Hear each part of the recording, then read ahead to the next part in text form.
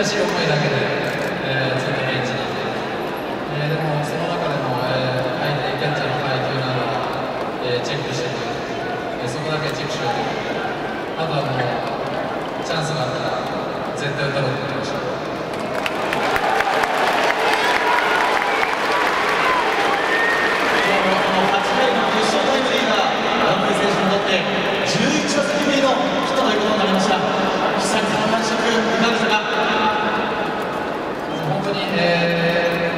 久しぶりに、えー、打打席で、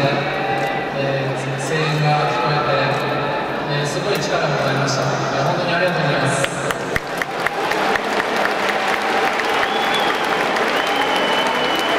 残り11試合になりました。ドラゴンズのファンの皆さんも全力で応援しています。これから残り11試合に向けてメッセージお願いします。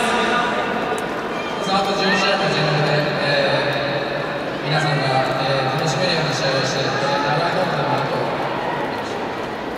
数試合しかないので、えー、何度か、えー、満足して帰ってもらえるように、えー、精一杯頑張っていきたいと思うので、えー、また次回応援よろしくお願いします。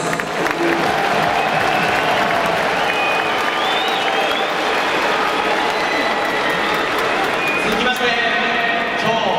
久々のホームランそしてダメ押しの2打点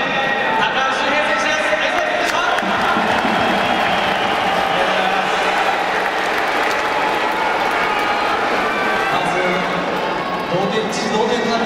あのホームラン久々のバージョンだったと思いますが振り返ってくださいそうですね新之助が投げてたんで、えー、いつも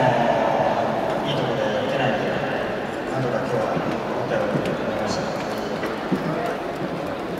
実はあのホームランは4月の28日以来本当に久々のホームランとなりました。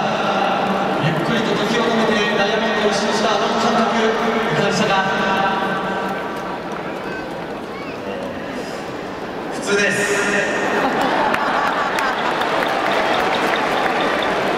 普通とはまあただその普通の感覚の中でドラゴンズファンの大活躍はいかがでしたか最高でした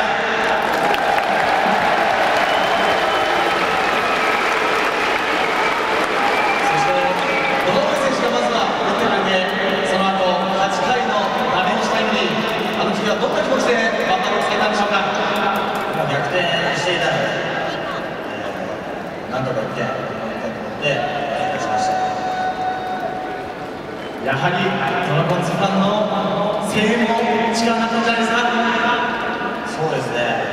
声援しか聞こえなかったです。